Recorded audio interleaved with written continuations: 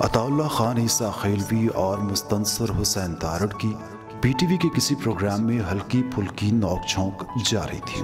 تارڑ صاحب نے سوال کیا کہ کیا یہ جو آپ کے گانوں میں اذیت ہے یعنی سنگلوں سے مارنے والی بات، اور یہ جو ہجر اور فراق ہے، یہ کوئی اپنے آپ تو نہیں ہو جاتا؟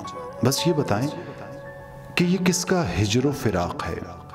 عطا اللہ خان عیسیٰ خیلوی بولے کہ آپ کی اس بات سے ایک دلچسپ واقعہ یاد آ گیا۔ ناظرین، آج یہ واقعہ انہی کی زبانی آپ سماعت فرمائیے۔ کہتے ہیں کہ میں کچھ عرصہ اسلام آباد میں بھی رہا ہوں۔ وہاں پی ٹی وی کے کسی پروگرام میں میرا یہی گانا ریکارڈ ہوا کہ بالو بتیاں و ماہی میکو مارو سنگلا نال۔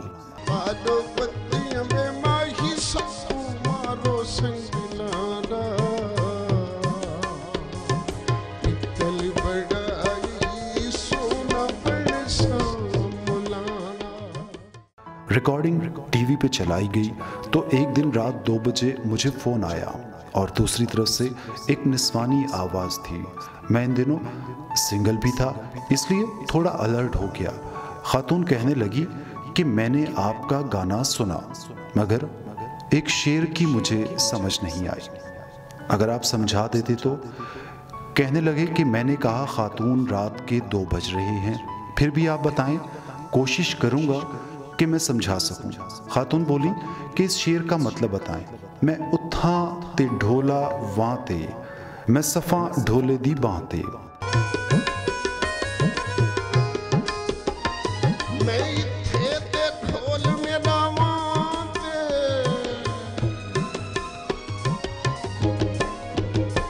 میں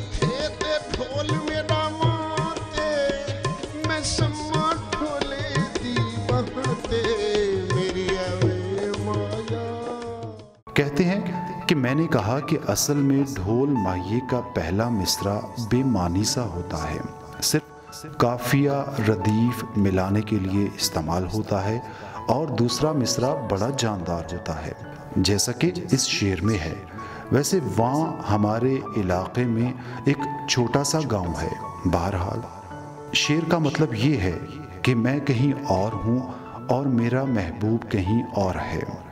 میرا جی بڑی شدت سے چاہتا ہے کہ میں اپنے محبوب کے بازو پر سر رکھ کر سو جاؤں، وغیرہ وغیرہ۔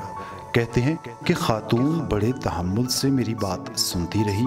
جب میں خاموش ہوا تو خاتون فل فور گویا ہوئی شکل دیکھیے اپنی، اور کھٹاک سے فون بند کر دیا۔